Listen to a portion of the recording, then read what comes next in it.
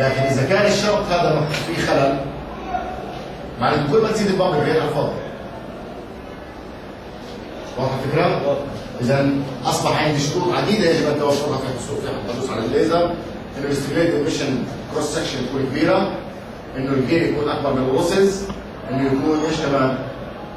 2 1 برافو عليك. إنه A 2 1 أصغر من A 1 0 أما إذا كانت أكبر معناته لسه موضوع فيش في ليزر لازم يكون عندك population inversion إذا العملية صارت إيش؟ متسلسلة. عشان يصير عندك population اول شيء بتقول بدي جيم عشان يكون عندك جيم بدك population inversion أو عشان يكون عندك population inversion بدك pumping rate وعشان يكون عندك pumping rate بده يكون عندك 3 level system أو 4 level system وعشان يكون عندك ليزر في ال four level system يجب أن تكون A21 اصغر من A10 بمعنى آخر بمعنى آخر إنه T 2 1 أكبر من A 1 أكبر من T 1 0 لأنه ال life time هو هو هو مقلوب ب probability of transition لما بقول أنا A 2 1 تساوي 1 على T 2 1 و A 1 0 بتساوي 1 على T 1 0 إيش معنى ذلك؟ معناته أنا بدي مستوى الطاقة T 2 1 اللي هو مستوى الطاقه هذا ال transition يكون كبير وهذا ال transition يكون زمنه صغير معنى معنى ثاني إحنا زمان إيش قلنا لازم يكون مستوى الطاقة metastable state عرفت ليش لازم يكون metastable state؟ واضح؟ إذا ما كانش metastable state معناته هذا إيش؟ مقدار سالب مش إحنا قلنا إنه مستويات ال life time بتكون في حدود ال nanosecond 20 nanosecond لكن في حالة لما بدنا نكون عند ليزر لازم يكون مستوى الطاقة بال millisecond بسميناه حالة خاصة اسمه metastable state. ال metastable state هاي هي ترجمتها انه ال life time تبعها كبير. ال life time تبعها كبير ال life time كبير معناته ال probability of transition very low لأنه المستوى الطاقة يستطيع الاحتفاظ بال atoms مثارة لفترة زمنية أطول. مين يلخص الكلام هذا مرة ثانية؟ انه for population inversion A21 اصغر من A10 or T21 اكبر من T0 أو T10. The upper lasing level has longer spontaneous emission lifetime than the lower level. هذه العبارة هي ما تم شرحه قبل قليل. ناخذ حالات معينة طبعا دائما ال most laser T21 أكبر كثيرا من T10 and hence 1 minus A21 تساوي تقريبا الواحد. طيب الآن ال threshold لما بدي أجي أتكلم عن ال threshold الان بدي اياك تنتبه لنقطة معينة. هنالك فرق بسيط ما بين ال threshold وال steady state في كلا الحالتين في كلا الحالتين ال gain بيساوي losses انتبه معايا مرة ثانية إيش معنى threshold؟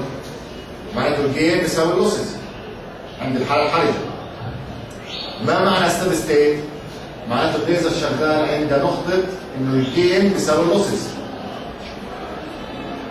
طيب إيش الفرق بين الاثنين؟ خلينا نشوف مع بعض. أول شيء هذا ال threshold أنت الآن عندك مستويات الطاقة. وهنا شغال عمليه إيش؟ ال pumping R مظبوط ولا لا؟ ومستوى الطاقة هذا سميناه E واحد وهذا سميناه E اثنين الآن بنعرف انه النظام تبعنا تبع الليزر له losses سميناها ألفا الآن مجرد ما تبدأ تشغل ال pumping إيش بصير؟ بتزداد ال atoms الموجودة هنا صح؟ الآن ال gain إيش بيعمل؟ بيكبر ال gain إيش بيعمل؟ بيكبر لكن هل يوجد ليزر؟ إذا أنت أول ما بتشغل ال switch تبع الليزر بدك تنتظر few second إيش بصير في خلال few second؟ ال gain عماله build up من وين بيجي ال gain؟ من زيادة عدد ذرات دلتا N الآن لما يوصل الجين إلى الحفة هنا من النقطة هاي هاي بنسميها في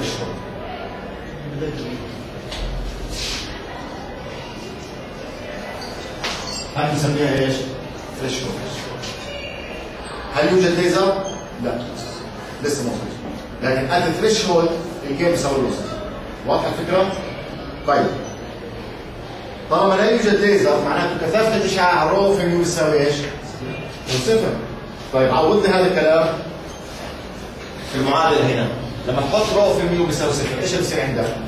بصير عندك إيش 2 ناقص ان 1 ات ثريش هولد بتساوي دلتا ان ثريش هولد في البوبيوليشن سوري في البامبنج ريت ثريش هولد في 1 ناقص A21 على A10 على A21 وين راح الحد اللي هو تحت هذا؟ صار نفسه لأنه فيش فاونديشن طيب الآن هذه الحالة حددت لي علاقة مهمة جدا بتقول لك كالتالي. انه the bumping rate required to reach threshold بتساوي إيش؟ بتساوي دلتا إن على المقدار. بتساوي دلتا إن threshold على المقدار.